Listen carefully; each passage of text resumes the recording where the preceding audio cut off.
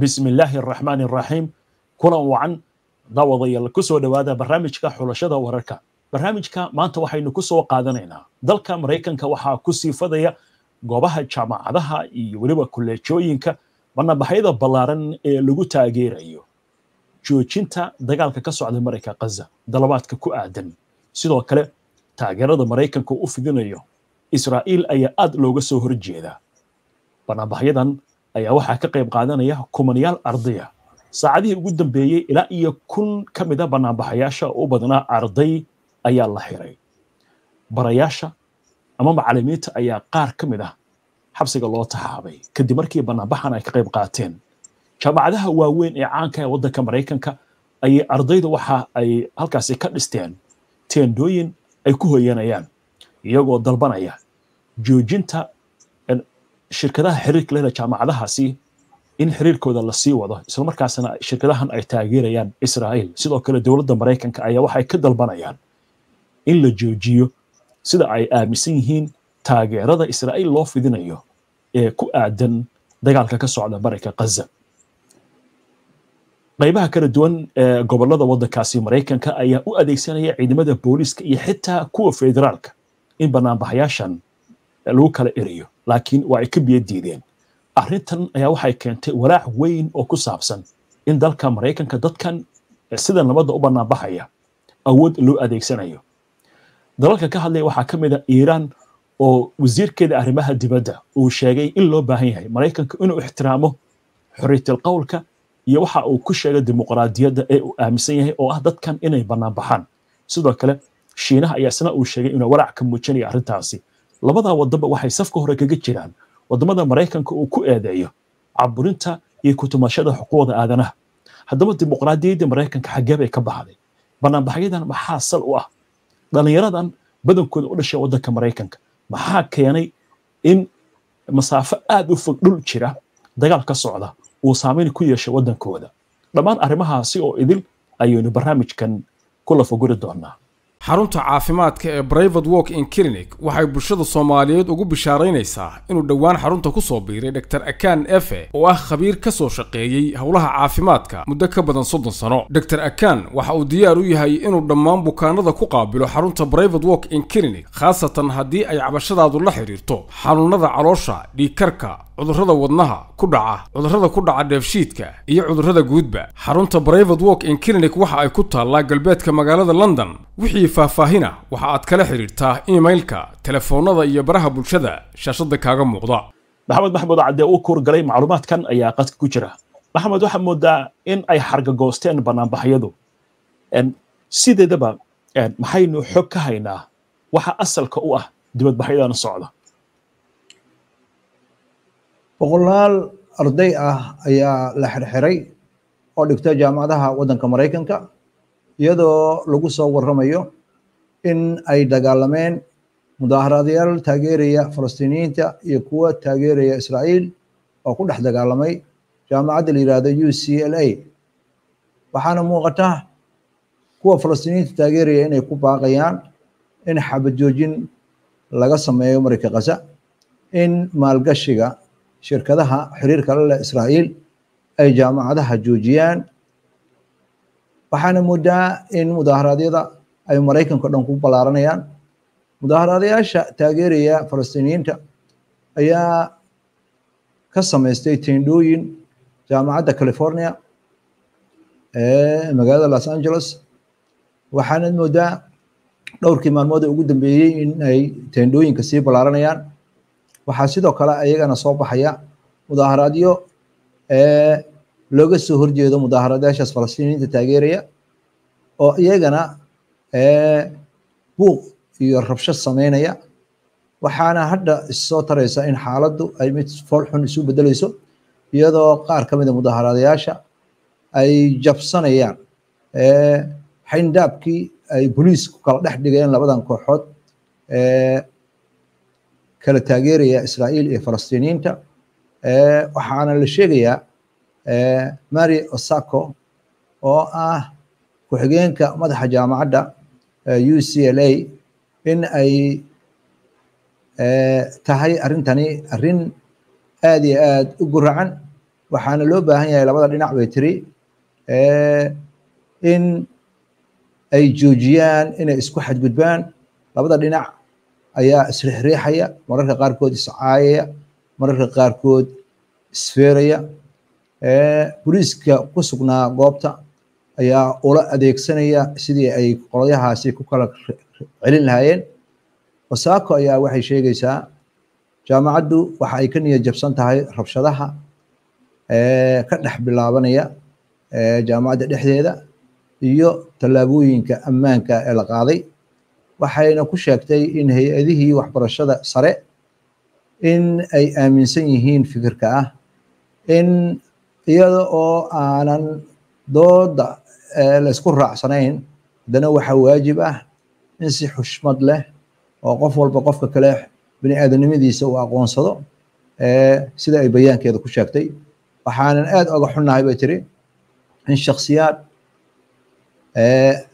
ay samaynayaan xadgudubyo iyo dagaal gacanka hadal ah ammaanka ardada kalena khatar gelinaya.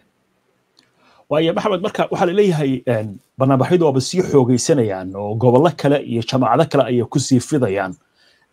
Bal arrinkaasi inooga waran iyadoo warka aad ugu jirta jaamacadda los angeles boliiskeeda iyo sida ay ola tacaamuleen dadka waxaa la sheegayaa wax xariga hadda lama dhicin dad ma xirxirin laakiin arrintani waxay qayb ka tahay mudaaharaadyo ku sii ballaaranaya dhammaan jaamacadaha. Waxaana la leeyahay boliiska ayaa waxay isticmaalayaan chemicalis dadka ka ilmaysiinaya iyo koronto ardada ay ku kala ereyayaan waxaana muuqata sida boliisku ay sheegeen jaamacadda boston ee ku taala magaalada boston boqol arday ayaa la xirxiray waxaana xoog lagu burburiyey north eastern jaamacadda la yiraahdo tendooyinkii ay ardada ka samaysteen baraha bulshadana waxay muujinayaan ammaanka oo isticmaalaya agabka dadka mudaaharaadayaasha lagu kala ceeriyo boliiskana waxaad moodaa in ay baabuur waaweyn oo boliisku leeyihiin inay tendooyin ku rarayaan ardadiina meelaha ka ceeriyeen sida barta x lagu qoray jaamacadda north eastern ayaa lagu sheegay in jaamacadda mudaaharadyada lagu qabanayo in ay yihiin kuwa ammaanka aad loo sugay. Laakiin waxaa muuqata bay leedahay wax walba hadda caadi ayay ku soo noqdeen. Jaamacadda ayaa sidoo kale waxay sheegaysaa tillaabadan waxa ay imaanaysaa iyadoo mudaaharaadka ardadu ay bilaabeen laba maalmood ka hor ay soo dhex galeen abaabulayaal aanan jaamacadda dhigan oo sida wax loo abaabulo aad u yaqaana waxaana muuqata in shakhsiyaadka la xirxiray ee leh aqoonsiga jaamacadda in la soo daayey jaamacaduhuna ay qaadi doonaan tillaabooyin anshax marin ah laakiin waa laga joojiyey in tillaabooyin qaanuuniya lagu qaado. Waayahay dadka dhaliilaya ardaydan jaamacadda ama jaamacadaha banaanbaxyada ka dhigaya waxay leeyihiin waxay ku dhawaaqayaan hadalla cunsuriyad ah oo yuhuud nacayb ah. Arrinkaasi maxaa laga ogyahay ilaa iyo hadda? Jaamacaddan boston ku taalo ee north eastern yiraahdo ayaa waxa ay sheegaysaa in hala dilo yuhuudda laga maqlay mudaaharaadayaasha ayaga oo ku dhawaaqaya waxaana muuqata arrintaasi inay xadgudub tahay.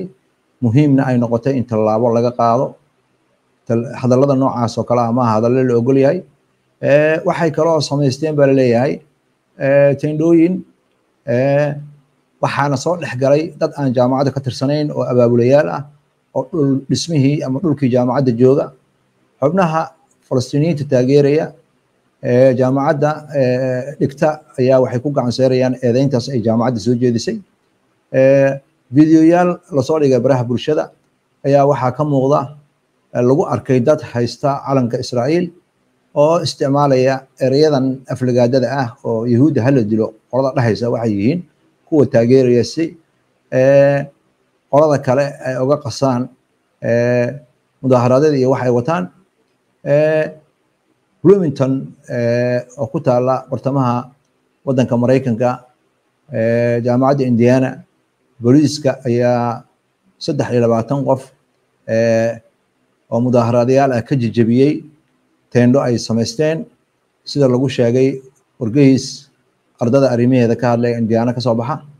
Waxaa sidoo kale la sheegaya dhinaca kale gobolka arizona booliiska ayaa sidoo kale waxay xirxireen ilaa iyo lixdan iyo sagaal qof oo ay ku sheegeen in dhul gaar loo leeyahay ay xoog u soo galeen teendhooyin aan loo ogolayna ka samaysteen saraakiisha gobolka arizona ayaa waxay sheegayaan mudaaharadayaasha oo intooda badan aanan arday ka ahayn jaamacadda ama macalimiin aan ka ahayn in ay teendhooyin samaysteen. Markii amar lagu siiyey inay meesha ka baxaan oo ay kala tagaanna diiday taas ayaana keentay in wax la xirxiro. Waaya dhanka washington oo caasimadii ah maxaa ka socda dhinacaas? Jaamacadda washington ku taalla st louis.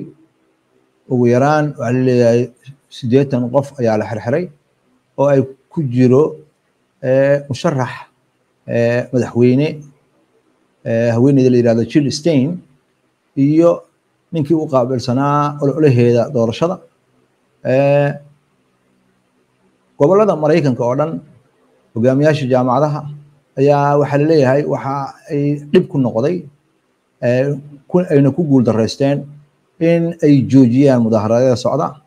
Waxaana loo arkaa booliiska in uu gacan bir ah ku qabanayo mudaaharadayaasha sawirada soo baxayna waxay muujinayaan in boqolaal arday ah iyo xataa macalimiintii jaamacadaha oo xoog lagu xirxirayo mudaaharadayaasha ayaa waxa ay dalbanayaan in la cafiyo dhammaan ardada iyo macalimiinta qaarna jaamacadada laga eriyey qaarna shaqada laga joojiyey. Waxaana muuqata jaamacadda colombia ee ku taalla magaalada new york ayadana boqol. Waxaa la xirxiray mudaaharadayaasha falastiiniyiinta taageersan. Waxa ka bilowday jaamacadda colombia ayaa hadda waxaad moodaa waddanka maraykanka oo dhan inay ku baahayso ardada iyo maamulkana hadda waxaad moodaa in ay isku khilaafsan yihiin mudaaharaadyada falastiiniyiinta xanibadaha ay soo rogayaan xorriyadda hadalka ku soo rogayaanna in laga diidayo maamulada jaamacadaha. Waa gartay laakiin weli waxaa sii socdaa la leeyahay xarigga iyo qabaqabashada oo iminka kunbay bay ku sii dhowdahay tiradu. Maxaa arrintaasi ilaa hadda ka soo baxay maxamed? Tobankii maalmood ee ugu dambeeyey boqolaal arday ah ayaa la xirxiray qaar badan jaamacadda ayaa laga joojiyey qaar badan waa laga eriyey. Waxaa sidoo kale la sheegayaa kuleejooyinka ayaa sidoo kale ka mida.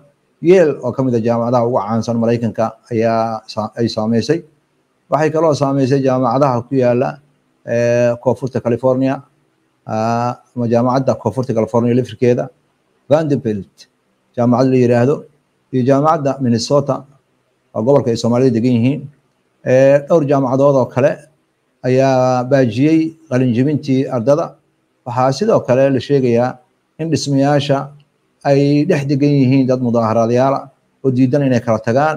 Sida warbaahinta loo sheegay jaamacadda briston ee gobolka new jersey ayaa waxaa la sheegay iyadana mudaharadayaasha in ay qiimo badan ugu fariisanayso mudaharaadka ay sameynayaan maadaama ardada ay xoog ku fariisteen dhulkii jaamacadda.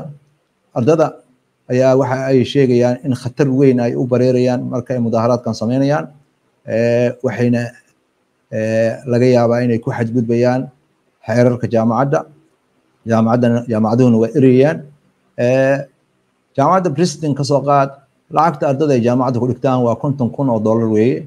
Sidoo mid kamida mas'uuliyiintu sheegayo waxaa muuqata marka in ardayda mudaaharaadaysa inay lacagtan muddo badan u urursanayeen inay jaamacaddan wax ku bartaan. Haddana noloshooda inay wax weyn u ahayd inay jaamacaddan shahaadooyin ka helaan. Laakiin mid kamida ardada ayaa warbaahinta waxa uu sheegayaa khatartaas inay u bareerayaan maadaama arrintan ay ku taageerayaan falastiiniyiinta ay tahay mid qalbigooda ku sugan waxayna doonayaan in ay khatar walba u galaan. Waxaana la ogsoon yahay in tirada ardadu ay sii ballaaranayso sida uu ardaygan mudaaharaadaya sheegayo. Qof dhalinyaro ah oo dibadda ka yimid ay u badan tahay inuu afrika ka yimid mamadu ta la yiraahdo ayaa ka mid ah afar arday oo jaamacadda cornell la yiraahdo ee magaalada new york ay si kumeel gaar ah waxbarashada uga joojisay. Wuxuuna u sheegay warbaahinta in ardada mudaaharaadaysa ay hanjabaad looga imaanayso iyo in magacyadooda ayagoo aan lagala tashan macluumaadkii ay ku aamineen jaamacadda lagu soo dhigayo baraha bulshada taas oo naftooda khatar keenaysa ku keenaysa. Wuxuuna sheegay ardaygan afrika ka yimid in cid ka difaacaysa ayna jirin xadgudubka ay jaamacaduhu samaynayaan oo magacyadooda ay u disinayaan dhinacyo kale. Waxaana muuqata buu leeyahay maamulka in aan kalsoonidii oo dhan aan ku qabnay uu burburay gaar ahaan muslimiinta ardada muslimiinta ah ardada carabta ah ardada falastiiniyiinta ah. Waxaana muuqata buu leeyahay xataa ardada ajnabiga ah kulli in magacyadooda lagu faafinayo sida uu ardaygan sheegayo baraha bulshada waayo marka laga taga maraykanka waxaa la leeyahay wadamo kale oo reer galbeed ayay banaanbaxyadan u tallaabayaan. Welwel weynna waa laga qabaa ilaa iyo hadda xaggee bay gaareen. Jaamacadaha mudaaharadyadan ee wadaan laga soo horjeedo xasuuqa falastiiniyiinta ee ka socda marinka gaza ayaa waxaad moodaa in uu ku baahayo jaamacadaha canada kuwa yurub iyo kuwa australia. Canada jaamacadda la yiraahdo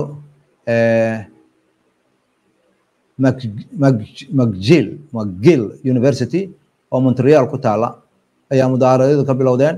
Sida warbaahinta maxalliga lagu sheegayna waxaa jaamacad kale oo iyada la yiraahdo concordia in waxaa laga dalbaday in ay joojiyaan maalgelinta ay ku sameynayaan shirkadaha xiriirka la leh sahyuuniyadda waxaa sidoo kale ay rabaan in jaamacadaha xiriirka ay leeyihiin jaamacadaha israa'iil ku yaalla inay joojiyaan. Tendooyin ayay dhigteen jaamacadaha dhexdooda.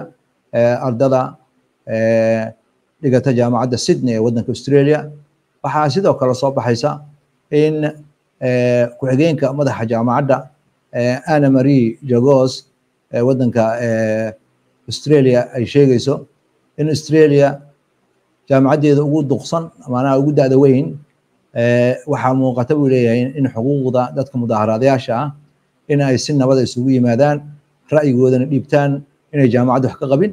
Saatee waxay sheegtay loo dulqaadan maayo dadka la imaanaya cunsuriyadda hanjabaadda amniga iyo hadallada nacaybka ah iyo cabsigelinta. Waxaana muuqata in ay socoto xadgudubyo qaanuunka khilaafsan waxaasoo dhanna waxa weeye dad saamiyiinta ka soo horjeeda dad muslimiinta necab luqadda ay isticmaalayaan iyo dhaqan xumada oo dhan inaynu jaamacadda ogolayn waa garta waaya maxamed marka dhinac kale aan ka eegeynaa dalka maraykanka magaalada new york banaabaxyadu ka bilaabdeen waxaa ku taal taalo loogu magac daray xorriyadda waxaana maraykanku uu ku eedeeyaa dhowr waddan oo caalamka ku yaalla shiinaha iyo iiraan iyo kuuriyada waqooyi iyo ay ka mid yihiin inay tacaddi iyo xadgudub ka sameeyaan xuquuqda aadanaha. Sanad kasta warbixinta ka soo baxda waaxda amuuraha dibadda waxaa lagu sheegaa caburin iyo cagajuglayn iyo xarig lagu haya dadka. Muuqaalada halkaan aynu ku arkaynin waxaan arkayni arday la xirayo macallimiin xoog weliba qaarkood loo adeegsanayo. Intay booliis dhaaftaa waxaa loo yeeray ciidamadii federaalka gobollada loo yeeray? Sidee isku waafaqaysaa marka? In maraykanku uu yidhaahdo hormuudkii xorriyaddii dimuqraadiyadda caalamkan ahay gudihiisi dadku waxay ka cabanayeen in laga hor yimaadana sidee arrintaasi sawir uga bixin kartaa adduunka? Sidee isku qaban kartaa? Su'aashaas waa su'aal aada u fiican wey maraykanka labadii boqol oo sano ugu dambeysay dhaqanka lagu yaqaano maraykanka waxa weeye dadka ka soo jeeda qowmiyadaha kale iyo dalalka kale xuquuqdooda iyo xadgudubka lagu sameynayo iyo siyaasadda ay ku dhaqmaan iyo qaabkay u shaqeeyaan maraykanku iyo waddamada reer galbeedka intaba waa saluugsan yihiin. Waxa ay dabada ka riixayeen dimuqraadiyad barnaamij ah oo ay rabaan in ay dalalka kale siyaasadooda dhaqankooda qaabka waddanka loo xukumo maamulkooda hay'adaha waxbarashada hay'adaha caalamiga ah inay galgal ku yeeshaan. Wixii oo dhan waxaa isla fuuqsaday marinka khaza waxa ka socda caalamkii oo dhan hal dhinac ayuu maray. Marinka khaza waxa ka socda waxaa la isku raacsan yahay in ay tahay xasuuq. Maraykanka marka jiilasha hadda jaamacadaha dhiganaya waxbaranaya waxa ay arkaan cadaalad darrada iyo waxa loo geysanayo dad jooga dhulkoodii laguna taageerayo dowlad cunsuriyad dil iyo xaasidnimo dhaqan ka dhigatay intii ay jirtay lana taageeraya hadda marka waxaa muuqata waddamadii uu maraykanku ku eedeyn jiray inay xadgudub ku sameeyaan dadyoogooda sida shiinaha iiraan ayaa hadda xaska ka soo baxay. Waxaa leeyahay waxaa la leeyahay wixii aad dadka ku wacdiin jirtay adiga xaggey kaa mareen maxay tahay hay'adihii waxbarashada sare. Askartan afka u duuban yihiin ee dilaya macallimiinta iyo ardada u diidaya inay si nabada u mudaaharaadaan. Waxaana muuqata aqoon-yahanada laftirkooda in aysan difaaci karaynin. Xisbi dimuqraadi ah oo sheeganaya in uu yahay xisbi u ololeeya xuquuqda dadyooga kala duwan taageersan siyaasad dimuqraadiyadda u adeegeysa in hadda ay adeegsanayaan awood aad u ballaaran oo aan loo baahnayn. Halkii la rabay hay'adahan waaweyn ee waxbarashada inta la isu yimaado in dood laga qayb galo labada dhinacba mowqifkooda ay difaacaan oo ay sheegaan laakiin lama rabo in la doodo. Waxaa la rabaa in xoog lagu muquuniyo waxaana muuqata arrintan inay faraha ka baxayso. Waxaa iyadana aana meesha ka maqnayn oo aqoon-yahanada qaarkood ay ka dhawaajinayaan. Waxaa la yidhaahdaa maraykanka iyo reer galbeedka aqoontii ay muddada badan sheeganayeen. Caalamka ay lahaayeen annaga majaraha u hayna. Hadda waxaad moodaa in akhlaaqiyaadkii iyo aqoontii inay ka guureyso dhinaca sayniska iyo dhinaca xisaabaadka.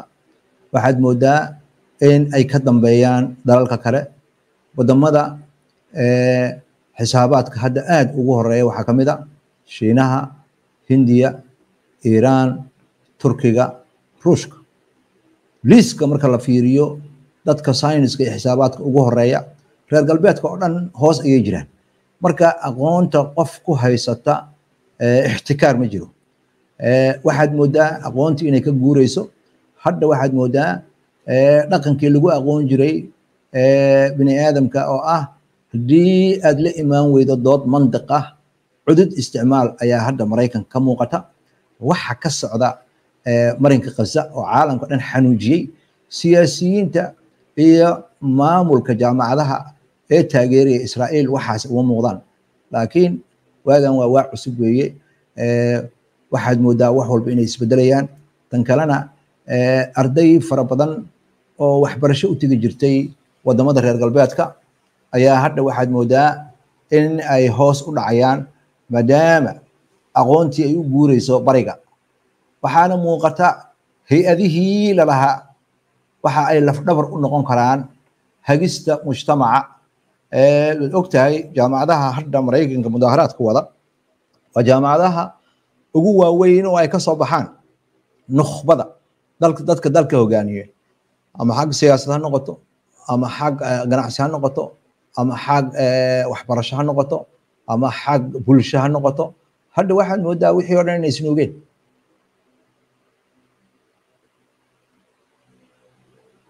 waa tahay. Maxamed maxamuud cadi aad baad u mahadsan tahay. Daawadayaashan waa mahadsan yihiin. Intaas ayaan ku soo gebagabeynaynaa barnaamijkii xulashada waxaase naga xasuusa daawade si aad u hesho wararkan barnaamijyadan iyo macluumaadkan halkan aynu ka soo gudbinayno. Haddii aad ka cusub tahay baraheena bulshada ama horey aadan ugu xirnayn ku soo biir waa inuu barnaamijka xiga. Inta ka horeysa nabadgelyo. Shirkadda minaro homis minan lagu nastaayo naftu ma hadinayso mid kaleba midkii kale malyan sheer ka qurux badan oo muunadoodii dhaayuhu mashquulaan. Lamaanaha midoobana ku abuura maxabbada oo wada muraayada. Farsamo maalin la arkaba muunad sii kordhaysiyo guryo loogu magacdaray minaro homis bal markaana ila eg.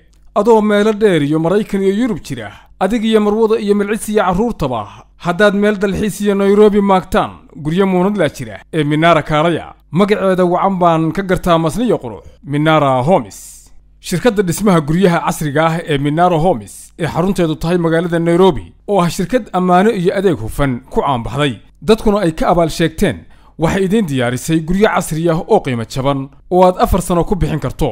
Haddaba yaa fursaddaas heli kara oo ka faa'idaysan kara. Shirkadda minaro homis waxay mashaariic dhisme ka waddaa xaafadaha westland bakland kililashwa sikomo iyo south sea. Guryahan qaar ayaa diyaar ah kuwo ayaa dhismuhu ku socdaa qaar kalena dhowaan ayaa la bilaabayaa ee haddaba gaar inta aan lagaa dhammaysan. Guryaha shirkadda kuu diyaarisay waxay kala yihiin laba qol iyo fadhi saddex qol iyo fadhi afar qol iyo fadhi iyo shan qol iyo fadhi. Sidoo kalena shirkaddu waxay haysaa guryo dabaqyo ah oo gaagaaban oo dublex ama villooyin ah. Guryaha minaro homis waa kuwo ay naqshadeeyeen khuburo caalami ah isla markaana loo dhammaystiray dhammaan adeegyada qalab tayadiisu sarraysana lagu dhisay. Dhismo kastaa waxa uu leeyahay masjid madarasad goob carruurta ku ciyaaraan laba jiim oo rag iyo dumar u kala soocan goobaha dabaasha ama swimming pool oo rag iyo dumar u kala soocan kafateriyo subermarket farmasy koronto ceelbiyood iyo baakinka gawaarida oo u gaar ah. Minaro homis kala xidhiir telefoonnada shashadda kaaga muuqda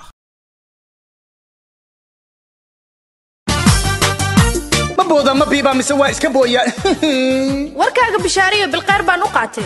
Hey isbageeti hows bari ruux tagayoo ka baaqdan lawa. Mama miyo haye waan u fadhiistay bilow balballaari warkaaga. Isbageeti hows baastadaad ka helayso beeldhadi beella barkeedha dhankeeda. Ka tilmaaman banaadim haddaan baxayaayo horteeda ka beer. Isbageeti hows baastadaad ka helayso. Bushmihiyo afkaaga haddaysan kala boobin bidaar saxan ku yeelan. Botoole iyo benlow iigu yeer bravo amigo. Adigoon buxino u boqoorin itaaliya. Baasta aad ku qancayso banaadir waad ka heshaaye isbageeti hows baxoo hadda booqo waa ii baxay warkaasi anaada ii bannee oyga baastada soomaaliya isbageeti hows ruux arka waa isagoo itali jooga roma milan ama torino barkeeda dhanka baastada ayaa ah bello axsan calay waxaad ka helaysaa nooc kasta oo baasta ah sida fino balbalaar macaroni nambarshiinkuwe tagliatelle rigatono sidoo kale alragu sida tonato basto arabiyato ama eldentia ha ka maqnaanin waay waxaa intaas ku dheer hortaada ayaa lagu samaynayaa waana istaandarka caalamiga ee cunto samaynta waxaana ka shaqeeyo kuu karo aan caadi ahayn adigoon aadin talyaaniga hadda booqo spageti house. Hooyiga baastada dalkeenna oo ku yaalla laamiyaraha soobe. Wadada koowaad ee interlog ee dhanka bidixda kaa qabanaysa. Ama nambar afar waddada aada aeroboorka jirada koowaad ee dhanka midig kaa qabanaysa interloga. Wixii farintaasi dheer waxaad kala xiriirtaa eber lix hal lix lixdan lix eber eber soddon